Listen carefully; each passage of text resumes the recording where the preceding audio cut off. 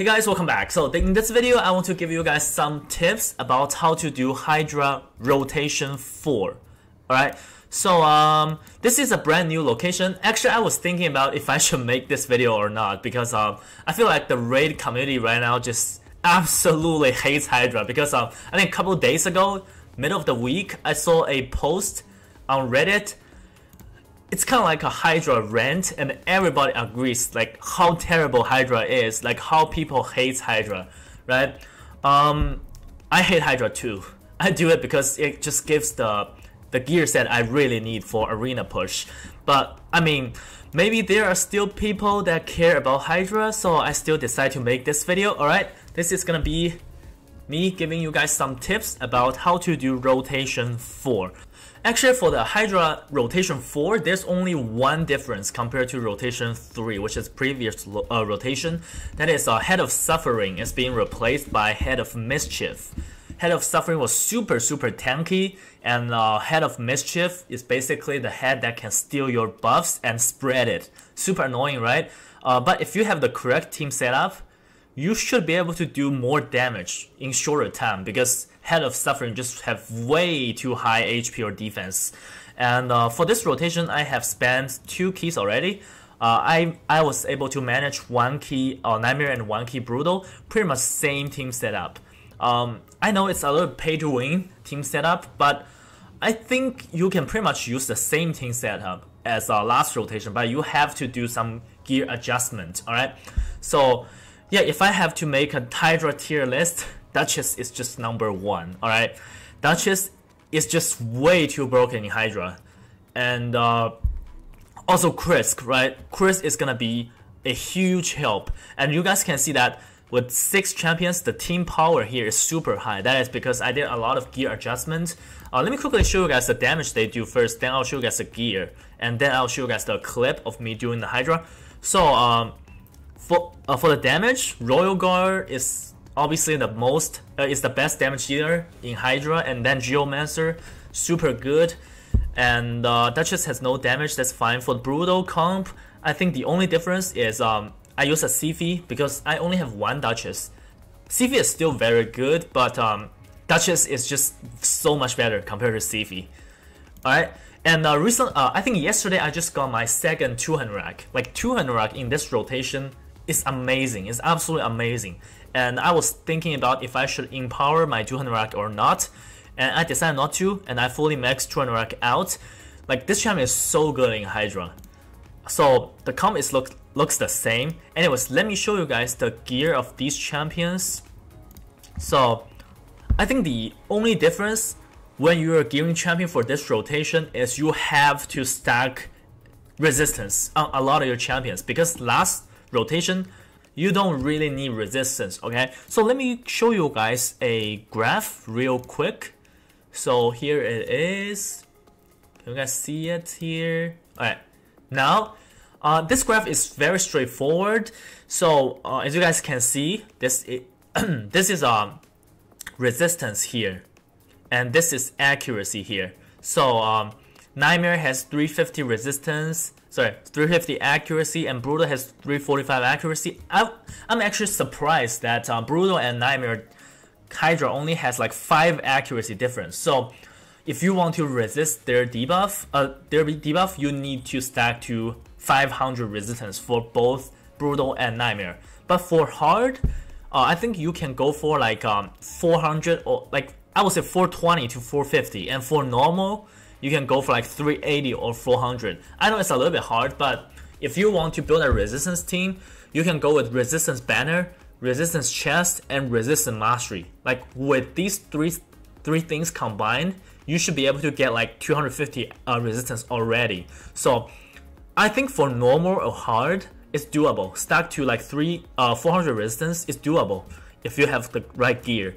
And for accuracy, I think for brutal, you only need 300 accuracy. And for Nightmare, you need 400 accuracy. That's a very big difference. And for hard or normal, you only need like 200, 250. So accuracy is not that big of a deal, but it's very, very important.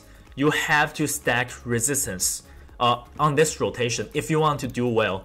Let me show you guys uh, some of my champion. I already switched my Duchess gear to Stone Skin as mentioned before, so uh, my CV is just uh, whatever, no resistance at all. This is an arena build, and for my Krisk, uh, I I think Krisk, uh, if you want to use Krisk in Hydra, I think uh, Frenzy set is actually super good. All right, because Krisk can heal himself a lot. So when he's go to max HP, then he take a lot of damage and his HP drop and he gets meter boost.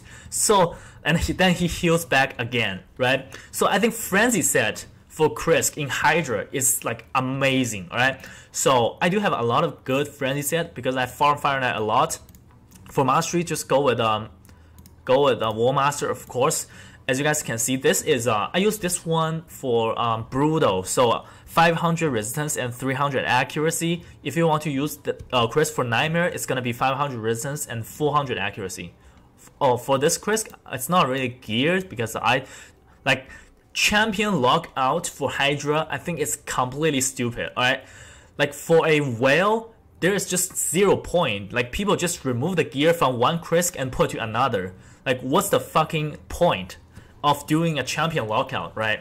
And then uh, for this Venus, I think this Venus is for uh, brutal, like high resistance and high accuracy. Like this one is for nightmare, high resistance, high accuracy. So who else do uh who else like oh okay so Tuhanarak right like mentioned before I just got my second Tuhanarak um a day ago Alright, this one is for Brutal, high resistance, high accuracy. This one is for uh alright, this one is for Brutal, this one is for Nightmare.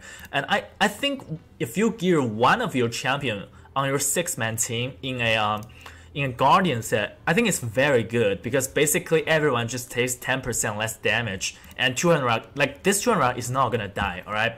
She's gonna heal back for sure. And sh uh, she and Krisk can basically sustain your entire team. And for Royal Guard and and um, Geomancer, there's no difference. The gear is complete completely the same compared to last rotation.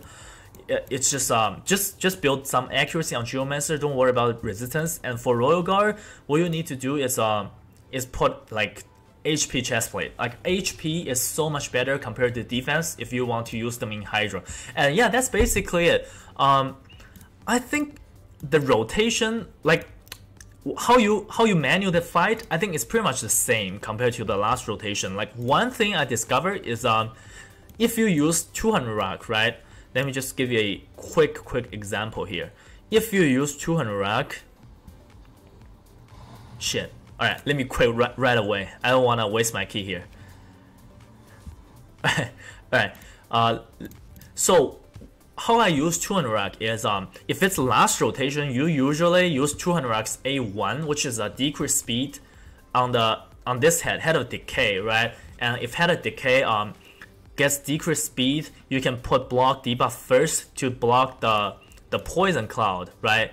So you don't have to deal poison cloud for two turns. But the way I do it this rotation is I put decrease speed, I put single target decrease speed on head of blight. So um so like, uh, Head of Decay is gonna cleanse everybody after I finish the nuke, right? And I'm actually managing to get two turns. Uh, oh shit. Before Head of Blight takes one turn, you guys see the point? I'm able to get two turns. So I'm still able to put out AoE block buff after I finish my nuke. So that's one uh, one interesting strategy I use for this rotation. And yeah, I guess that's about it. Now let me just show you guys uh, a clip of me doing the the Brutal Hydra, alright?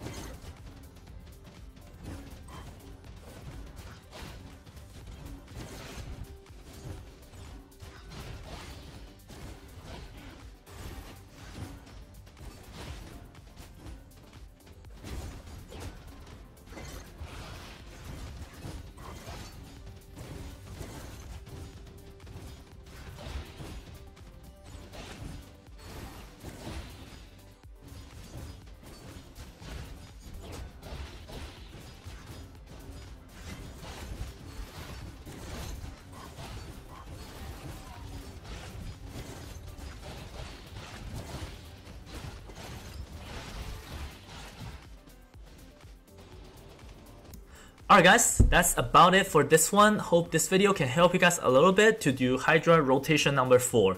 Actually, one funny story uh, is um, I received a lot of copyright claim from my previous video from long time ago. It, it was uh, they're about like music copyright stuff. So I guess going forward, I'll just not to put any music on my video. That's a sad story, but anyways, uh, that's about it for this one, and I'll see you guys next time. Bye.